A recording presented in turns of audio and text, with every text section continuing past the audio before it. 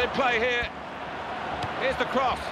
Good defensive play, but I have to say poor attacking play in the first place.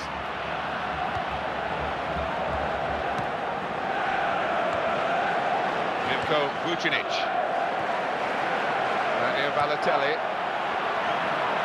In a goal. Here's the shot. Oh, Off the post. Very nearly a goal. It's hit the bar and it's back in play.